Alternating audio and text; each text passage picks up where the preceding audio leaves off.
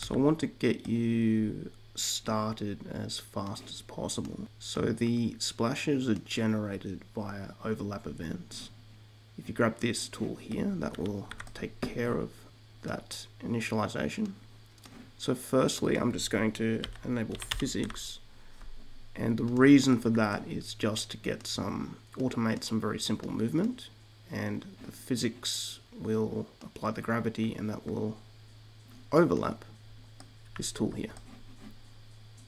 So this is just for the mo movement, but now we want to generate overlap events.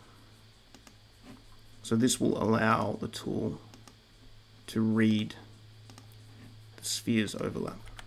So now we'll play.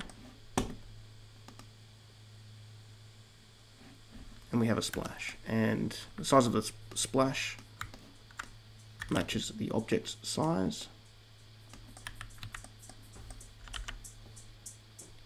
That's something that is also taken care of by this tool. So I've had a few questions about Sequencer and comparing uh, this workflow to Niagara. Let's do the same thing again.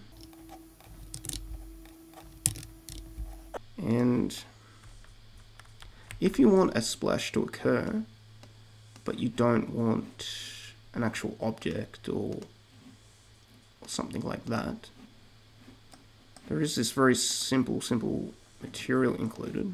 So now we have this object here, but we can't see it. So effectively, we've got a splash appearing out of nowhere. So I'm going to switch off physics. And let's say we want to use sequencer. We want something that works within sequencer. Okay. So we've got physics off, so let's just do a transform, something like that. Okay. We've got a kind of pretty predictable time where the splash is going to, to happen. And, and note again, we don't have to worry too much about the angle or about the size. This is all kind of still taken care, care of with the tool.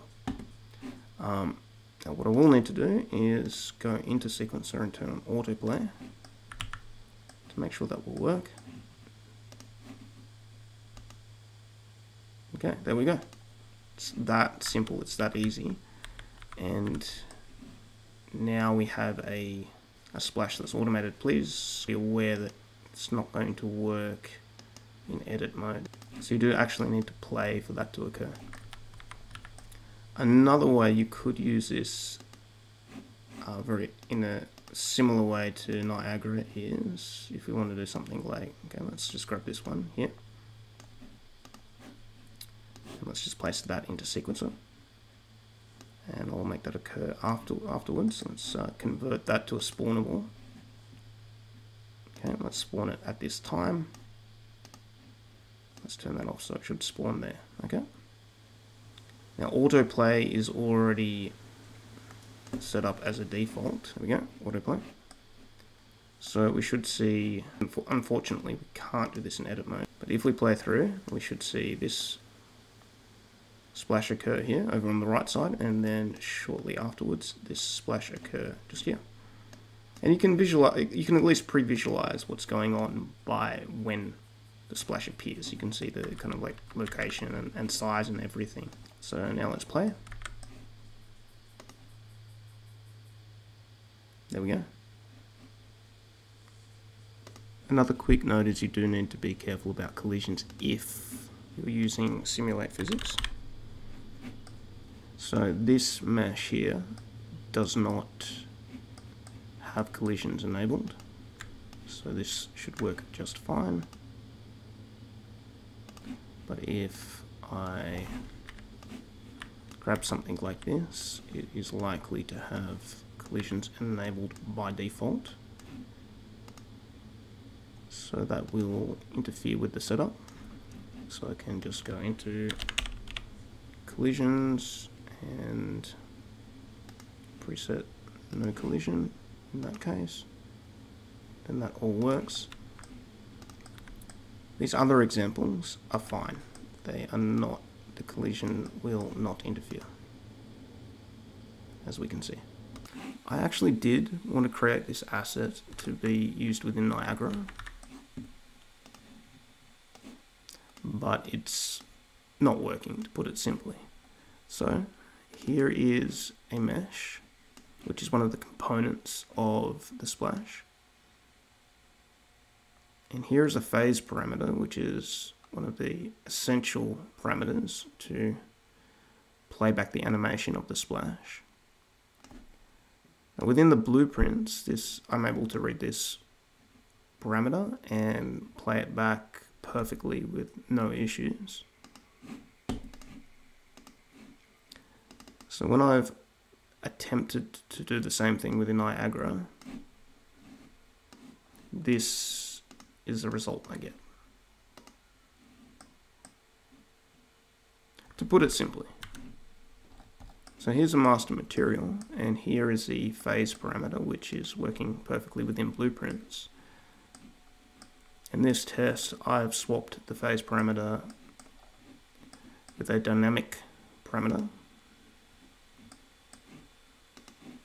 and I'm reading that into Niagara. And it's not working. So I'm not saying that there isn't another way to do this or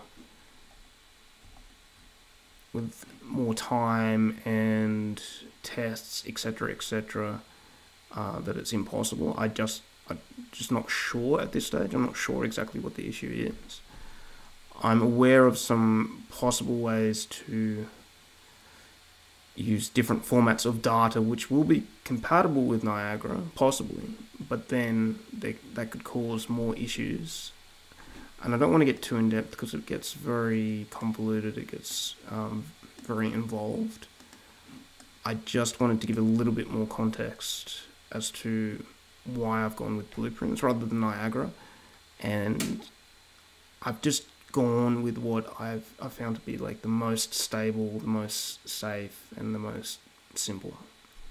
So I should further clarify, you can actually scrub through this effect within sequencer in edit mode.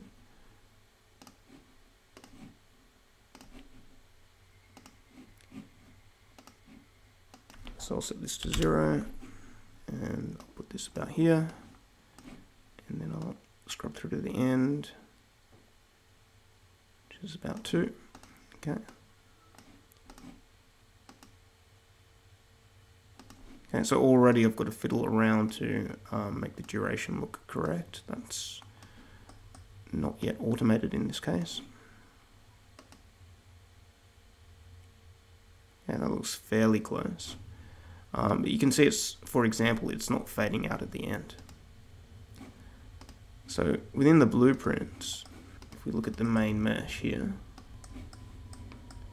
we not only have the phase, we have all these other parameters being animated also. The problem here, if using it uh, directly within sequencer like this, is for, well, the phase will cover the most significant part of the animation.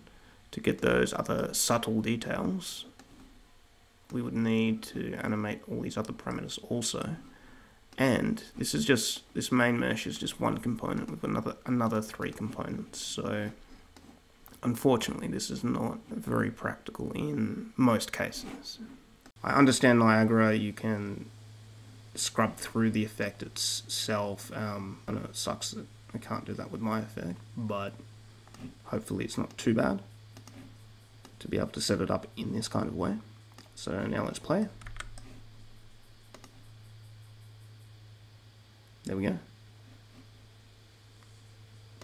So again, I understand it may not be as ideal as Niagara in every circumstance, but I hope with these tools and with the with this kind of demo and with the information I've provided, I hope it's pretty close to any Niagara functionality. I hope it's even better in some cases. That's my hope and that's what I'm trying to do. Thank you.